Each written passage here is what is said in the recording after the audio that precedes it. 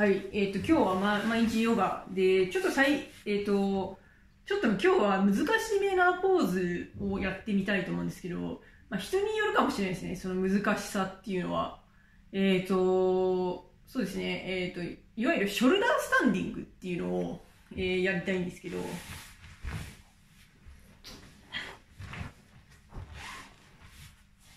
まあ、まあ、簡単に言うとこういうやつなんですね。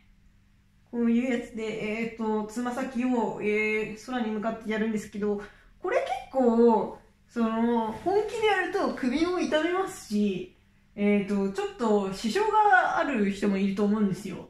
なので、できれば布団の上とか、ベッドの上でやって、最初はやった方がいいのかなと思いますね。ちょっと安定が悪いので、そこは問題があるんですけど、えっ、と、まあ、えっ、と、順を追って説明していくと、えっ、と、そうですね、えー、まあ、えー、そうですね、えっ、と、まず、そうですね、お尻を上げましょうか。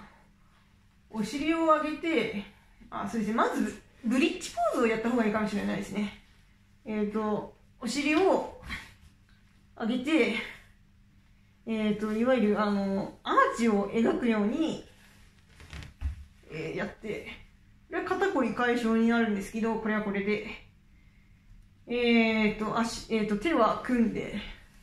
ですね。で、それをやった後は、えっ、と、そうですね。えっ、と、お尻を持ち上げて、えっ、と、まあ、手で支える、まあ、多分見ての通りって言っていいのかわかんないですけども、それで、えっ、と、足のつま先は空に向かって伸ばす。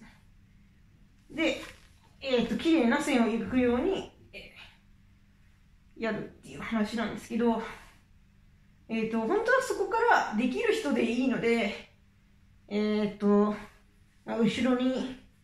こう、やったりとか、で柔らかい人とかだと、まあ、あの、両足を開いて、それで耳、床につ膝がつくいたりするんですけど、ちょっと私はつかないですね。えっと、そうですね。まあ、まあ、それですね。で、えっ、と、まあ、肩、あえっ、と、まあ、ショルダースタンディングのやった後は、えっ、と、まあ、魚のポーズですね。えっ、と、魚のポーズは、でそうですね、えっ、と、手を、えー、腰の下に持ってきますね。腰の下に持ってきて、えー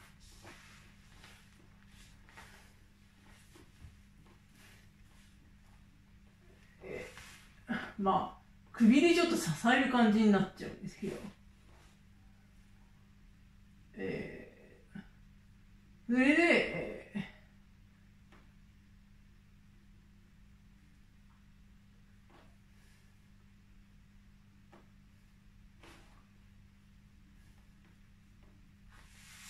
えー、と、この流れは結構、えー、と、首を、